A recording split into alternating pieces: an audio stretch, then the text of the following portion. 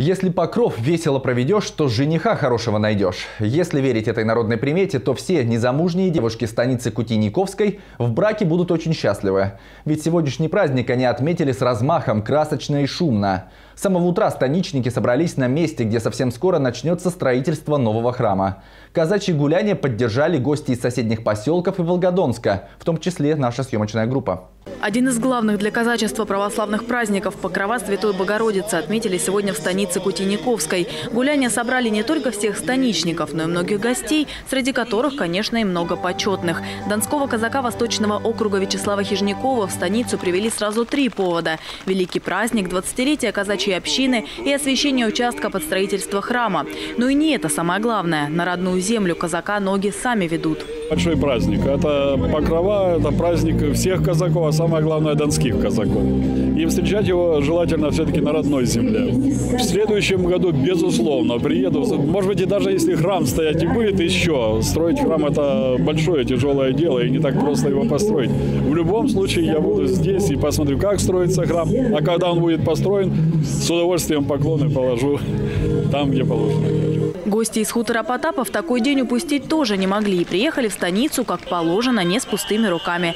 Песни и задорное настроение от потаповцев получил каждый, кто пришел на гулянье. Мы гости этой станицы, и мы приехали специально а, для того, чтобы поучаствовать в этом значимом мероприятии всего этого казачьего поселка. А мы считаем, что он казачий поселок прежде всего. А, освещать место – это очень значимое событие для вообще для людей. Это значимое событие. Рушить – это одно, а возводить – это другое. Это благодать Божья. Для казаков станицы Кутейниковской Покров в этом году стал еще более значимым. Сегодня епископ Волгодонский и Сальский Корнилий осветил место, где в скором будущем появится храм Покрова Святой Богородицы. Наша станица православная.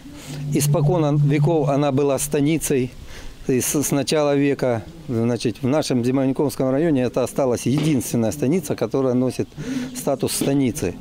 Поэтому здесь должен быть храм. Храм будет на 170 прихожан, будет э, 5 куполов на храме и один купол на звоннице. Когда планируется его увидеть, ну это одному Богу известно, но я думаю, мы сделаем это быстро.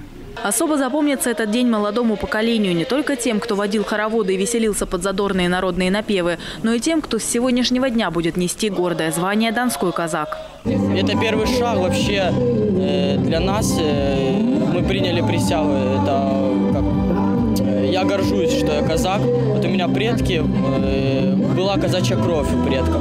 Я горжусь, что я тоже стал казаком и ношу имя казака. Ну. Должен уважать старших. Это первое. Второе, он должен знать свою веру что он должен верить в Бога. Покрова Пресвятой Богородицы считают праздником историческим, а в народе он навеян множеством примет и суеверий, связанных в первую очередь с началом зимы. Какая погода сегодня, такая и всю зиму будет, говорит народ.